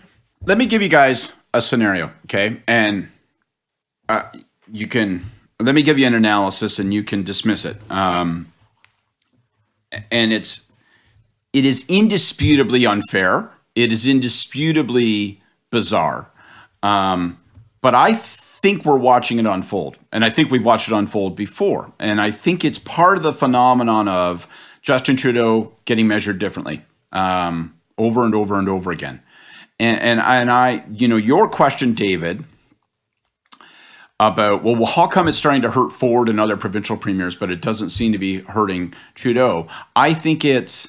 Uh, I, I said this two weeks ago. I said that I thought that we would see that provincial governments would, if any government's going to pay a penalty, it'll be the provincial governments and not the federal government and not the prime minister. And I, I think that's going to unfold. That I, I think at some level, the, you know, the resonance and the reality of both of my like I got three kids in this house right now. Like I had a guy from Rogers putting uh, Rogers uh, uh, what the hell Ignite in, into our house because Wi-Fi was crashing all the time. I kept him here. Did you have like another kid? Prisoner. I kept him. Yeah, well, well, Will's here, right, doing online. Oh, okay, all right. And then Sam and Ben, right. Jack is away. I mean, I have 32 sons, right? You know, and they all want to use uh, my password. You know, um, but I, I trapped this poor fucker from Rogers in the house. I wouldn't let him leave. I'm like, I want Ignite, and I want boxes, and I want pods, and I want a mesh, and I want, I want you to put this like, you know, WandaVision sort of a bubble over my house of internet perfection, and and I just people are home with their kids and they're doing online school and it's unbelievably stressful and miserable. And there's a hundred other kinds of pains and problems happening for people with different lives. And that seems to wash up on the shore of the provincial government. I look and i say god damn and Lecce and ford why aren't you doing something different when it comes to schools? Like that seems to be happening. You thought Whereas, they were doing a great I'll, I'll remind you you thought that you thought okay okay okay. I know i know fuck my point is the vaccines thing feels more ephemeral. It's a cloud of different data and discuss, and you know ups and downs. It Moderna is. said this and that said that, and I just don't think he's paying the penalty. I don't is. think he's going to pay the penalty. I think it's going to hurt the provinces and not hurt Trudeau. And no. yet again, Trudeau is going to not be measured by the same stick that the rest of the political world is. You watch. I'll bet you anything. I completely, I completely disagree with you. Uh, I think that the polls will catch up uh, to uh, who is responsible. It's the reason that the provincial governments uh, are feeling the heat, uh, the heat that they are now. And the provinces actually, if I'm the premiers, uh, I'm stopping the love affair with the feds because uh, every day they go out and say, "Oh, Justin Trudeau's working hard for us, and and he's trying to get vaccines." Well. Um, I, I think that ultimately that that's the responsibility for securing vaccines is on is on the federal government, and I think that um, that has to be pointed out a bit more. And I think that it will be pointed out anymore. So I predict that I predict that we're sitting at the last week in January. I predict uh, at our pod uh, uh, at the last week of March, we will be having a much different conversation in terms of uh, where uh, public uh, public sentiment is on the federal government and vaccines. There can only be one McLeod, so one of us is right and one of us is wrong, and we'll see. By end of March, I'm with you. Let's have that because I I understand everything you're saying. I think it's I think for it to get it's fun meant what you're saying I think is for it to fundamentally get- rational. I think it's for it gonna to get really politically potent, for it to get really politically potent, the opposition has to link it to something that's fundamental to Trudeau's approach to government. They have to link it to a personality flaw that people think about indecisiveness or lack of attention to detail or that kind of thing. Or they have to link it to uh, a blindness about China, uh, a willingness to sacrifice Canadian other Canadian interests for the Chinese relationship, something because in and of its own, if it's just a story of kind of of kind of not being as quick on the uptake as others, I don't know if it has the same potency as if you say this horrible situation is an example of a flaw in the Trudeau governing style. So I think the opposition has to somehow find a way to link it to something deeper and more profound. And then they'll have some magic. Yeah, I think that would be great if the opposition did that.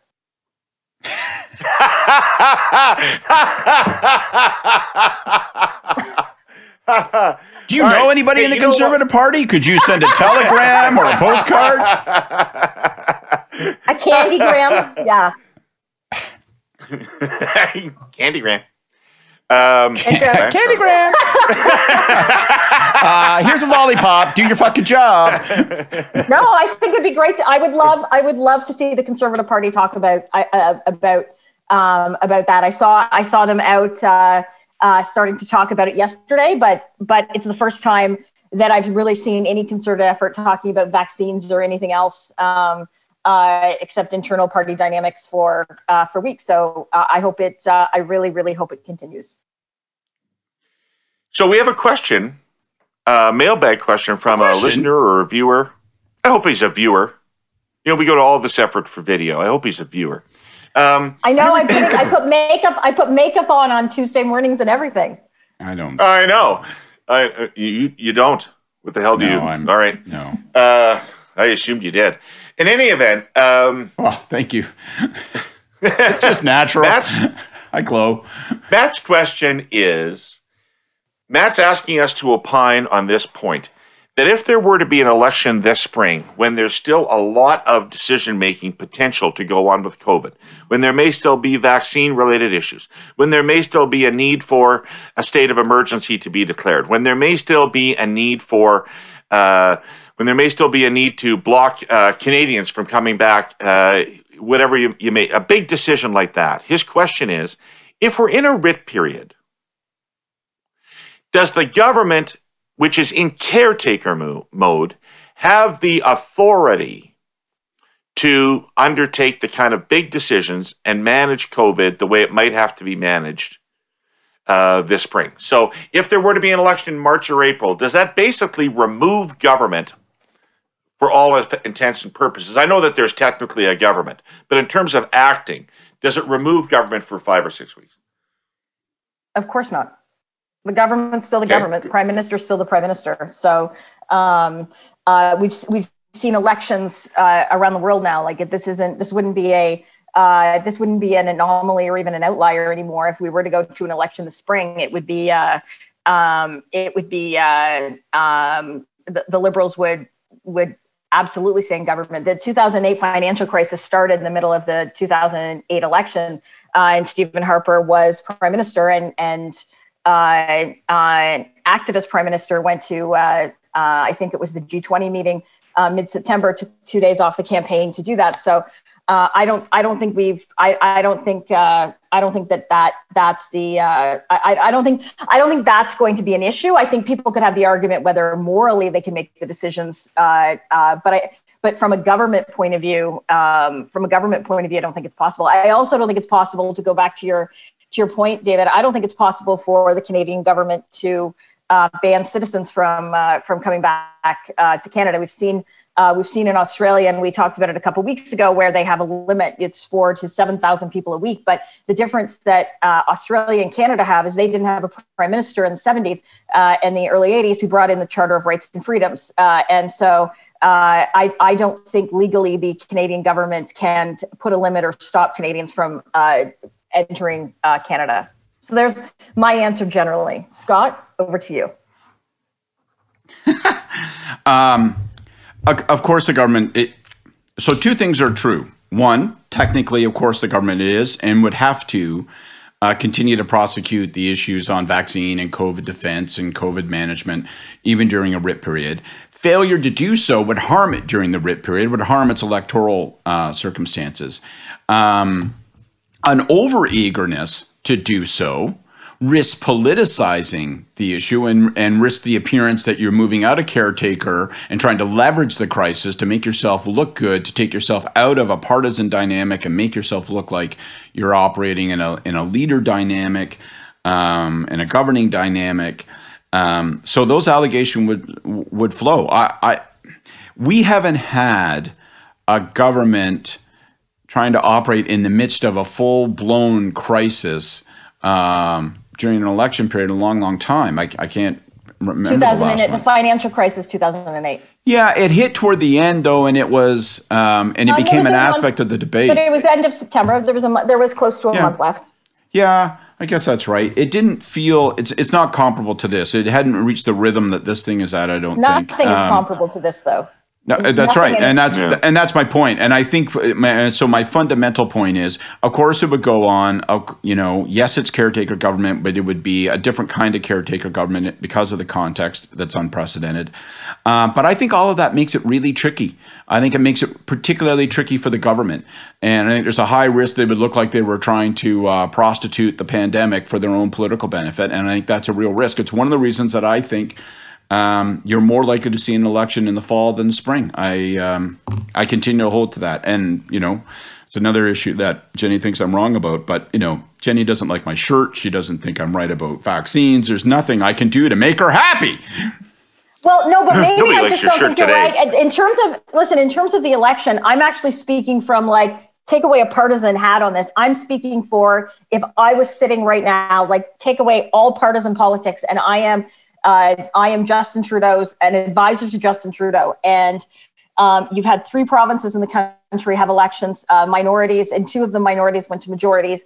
Um, you're sitting at high in the polls. If you look at some, uh, like the Nanos numbers, you're sitting at 50% in Ontario, uh, which would actually put you at like Jean Chrétien, Canadian Alliance, uh, uh, uh, liberal numbers uh, when we picked up two seats. So depending and so and at the very least, you're sitting at 41% of the vote in Ontario, and I use Ontario just because um, uh, I know that province a little bit more. That's still putting you at the same levels that you had in the last election. You've you've increased your popular support in the last year uh, since the election in, in British Columbia. So. Mm.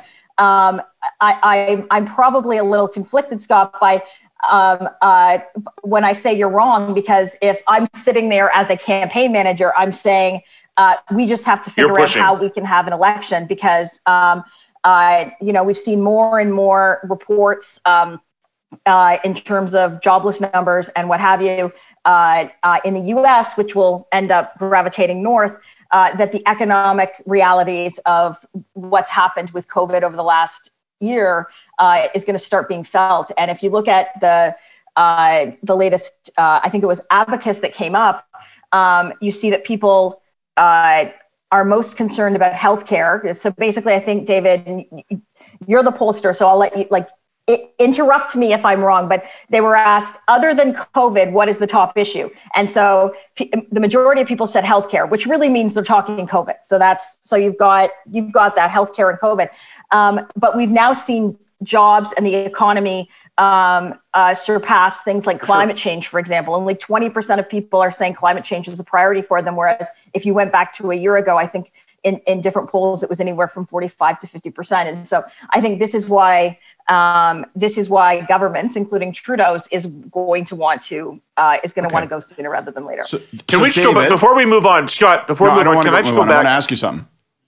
Yeah, what's that? I want to ask you something. Go ahead. I, I, I gave my view on this last week. I think there's a better case to be made, and I think there's more optimism to be banked if you wait and hold for the fall. So I won't repeat all those arguments, but that's my view. Plus, I'm a candy ass. Okay, I tend to be uh, risk averse and scared, and I'm scared of the spring. So that's I would not be the advisor recommending what Jenni's writing. So we would be offering partisan politics taken out of it, we'd be offering our respective prime ministers different advice. What would you suggest? What would you propose? Where would you come down?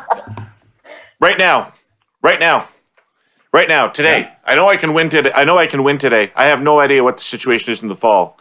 I know I can win today, and I want to get back to Jenni's point about this. But to just close off on Matt's question, because Jenni opened the door to something interesting to me.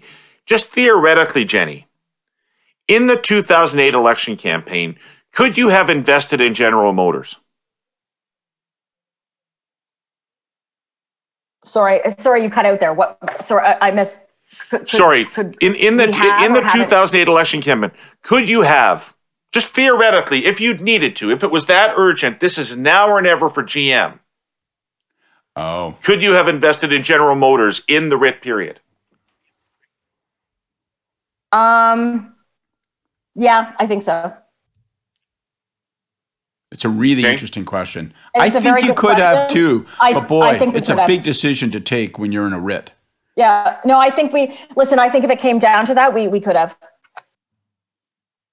Okay, cool, interesting. So now to leap forward to what we were just talking about, Scott's Scott's point asking me one of the reasons I would go now, and I say this to both of you. I'm not trying to put Jenni on the spot. I say this to both of you. I have no fucking idea what the conservative offering is right now. Right. Like, what is it about Erin O'Toole that would cause you to consider him as opposed to Trudeau right now? Like, what is it? What's the cleavage? What's the wedge? What's the offering? What's the anything? If there was a um, right now, what would they say it was about? I actually don't know, to be perfectly to be perfectly honest. I know what I, I am assuming they are continuing to work on a uh, on a narrative. You've seen uh, Erin starting to talk about vaccines and uh, what have you. But this is this, and this is maybe a discussion for a. Uh, uh, uh, this is a discussion for a different pod.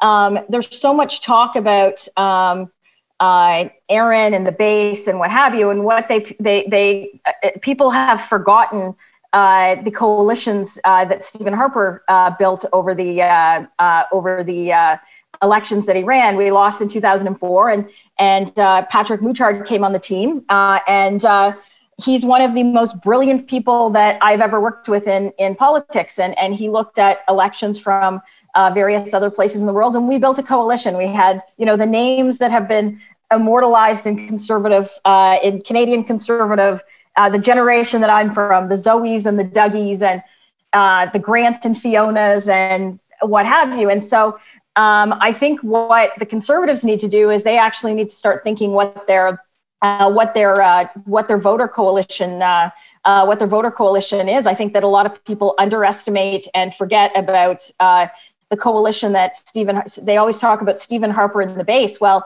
um, Stephen Harper did have a base of support, uh, but he also built some electoral coalitions. And this is the problem that I see right now.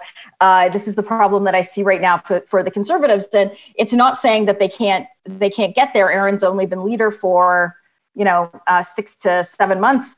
Um, but this would be another argument that I would have, David, if it was sitting and we were sitting in our chairs as campaign manager. If we're purely looking at it, it would be another reason to our point as to why we would go now is we can't give them the opportunity to try to figure out or at least appeal to that coalition, those the coalition that they're uh, uh, that they need to build to be able to uh, win the next election. Harper got forty percent of the vote in 2011. Harper got forty percent mm-hmm. of the mm-hmm. vote in 2011. O'Toole couldn't find that with Waze right now. 40% of the vote. I, I hear what you're saying, man, and I guess maybe this is just the the risk averse aspect of my personality, but I indisputably your opposition uh, is uh, at a weak ebb right now, at a low ebb, at a, at a weak spot, and that is a huge advantage. Um, Uh, but the issue is the issue, and I think the issue is unpredictable in a, in in a six week stretch. I think where we are at on all the arguments I'm making about vaccination, I think if you drop the writ, they get reconstituted. I think suddenly you you invite people to judge you on the basis of your vaccination rollout and whether or not it's urgent enough, in a way that they're not uh, in a non writ period. I I I just and I and I have a fundamentally different take than Jenni. I really think there'll be economic optimism if, with good cause come the fall. Like I think that people will be getting rehired. I think there'll be a critical mass of vaccinations. Economies will be opening back up. We're going to start to see GDP on an annual basis start cranking out in that third and fourth quarter in particular at like six seven percent. And I think governments will get showered with that positivity if they go to the polls. And so, wow, I uh, I, I, like, I, I would hold. Like I like the I like the world that uh, that that uh, that you live in. I just don't think it's. I can't fucking wait for September, Jenni. I don't know about you. I can't I, wait for September I, and October. I, it sounds like it fucking awesome. I know. Well, Jenni won't be here. She's not. The ban will still be in effect. She won't be able. She'll be at the Supreme Court arguing that the Constitution permits her the right to come back in the country. Good fucking luck to you. I hope you got a good lawyer. Uh, David and I'll be on a. Uh, we'll be on a patio somewhere in downtown Toronto, uh, living the high life. I listen. No, I'll be I, arguing I your. I'll be arguing your charter case for you. Thank, thank well, you. You're uh, true, well and truly fucked if he's your lawyer. Well, no, listen. I, I had a very good uh, Sunday. I went to a restaurant. As I said, it's these places where you can order food and people bring food and drinks to your table, and uh, watch the uh, uh, watch the uh, Green Bay Packers and get monster. Sorry. Yeah, yeah. Sorry, Jenni's dad. I know hard, I'm not a huge. Lines. I'm. I'm. I'll be honest. I. I just enjoy being out and about. Um. Uh, but yeah, so uh, I hope, uh, uh Scott, I hope your view of the world. I, I truly hope your view of the world is is uh, is what happens. But I think that uh, it was what happens. But um, I I think that ten months into this, we and and looking at other economic factors uh in the world and and and what have you, I think if if I'm a government, I'm um, uh, for the same reasons I have continue to say, I would much rather have the election uh, sooner rather than later, and that's why governments of all political stripes um, uh, are are trying to figure out how to how to do that. Awesome. All right, let's squeeze in a hey you, Scott. You're first. All right, my hey you is um, to Doug Ford, uh, to Justin Trudeau, um, it's to Stephen Lecce. It's to all the politicians out there, all the political leaders that are out there that um, whether it's um, a ban on international travel or whether it's uh, the return of school, all those political leaders that feel that it's need uh, necessary at this point to precondition right? It is necessary to butter me up. Before I bring in the travel ban, I'm going to talk about it gently and warn about it for three, four weeks. Before I tell you that schools are returning, I'm going to talk about whether or not we can do it. I'm going to say a thousand cases. I'm going to muse about it. All this. No more. Okay. I don't need to be buttered up fucking fry me. Okay, politicians, okay, political leaders, I do not want to be preconditioned. Just tell me when the decisions are coming. Tell me what they're going to be. None more, no more hints, no more dropping breadcrumbs. I'm out of that territory. I want to know, nope, we're not going back until the end of March with school. That's the way it is. So strap down and get yourself sorted. Or yes, we may go back on the 10th of February. This is what the conditions would need to be. Same thing on travel. Make a decision. Be clear. Quit hinting and teasing and tearing off veils. I don't like it anymore. We're a year into this thing. Tell me the shit, man. Tell me the shit. Oh, fuck, Scott, you took my hey you. Oh, Sorry. Uh, um, all right. Well, my hey you then. I'm I'm going to specifically do it to my party, uh, uh, the Ontario Party. Um, uh, Doug, hey you. Um, uh, Justin Trudeau is trying to figure out how he can have an election and not get get uh, pillared for the fact that two of the largest provinces in the country are at stay-at-home or lockdown orders. he is not your friend. Chrystia Freeland is not your friend um, stop giving them a pass on the lack of supply of, uh, of vaccines because I guarantee you uh, for uh, some of the uh, uh, for some of the issues that provincial governments have had, and we have talked about those at nauseum, and we can talk about them more, like the travesty that is long-term uh, long-term care in Ontario, uh, Justin Trudeau's not going to give you a pass. So that's my hey you tip this week. Because Scott All right. took mine. My Ha my no hey, guilt. my hey you, my hey you is to Premier Horgan out in British Columbia. I'm tired of having you thrown back in my face whenever I criticize conservatives for not having done anything about paid sick days or not having done anything about long term care. People say, well, look, BC has an NDP government and they haven't done it either. So you're a new Democrat. You're supposed to believe in government. Stand up and do something impressive about long term care homes so that I can go back to criticizing conservatives for their ideological uh, resistance to doing the right thing. Good stuff. All right. Listen, thank you, you guys. This was fun this week. Thank everybody for listening or watching. And I want to thank our presenting sponsor, TELUS, as well as, of course, the entire Air Quotes Media team behind this. Give us a shout out on social media or go to iTunes and give us a rating. Get the word out about the show. Thank you all for listening and thank you for your support. And we will see you in one week back with these fine people. Go Habs, go. Toodles. Go Habs, go. Why, why,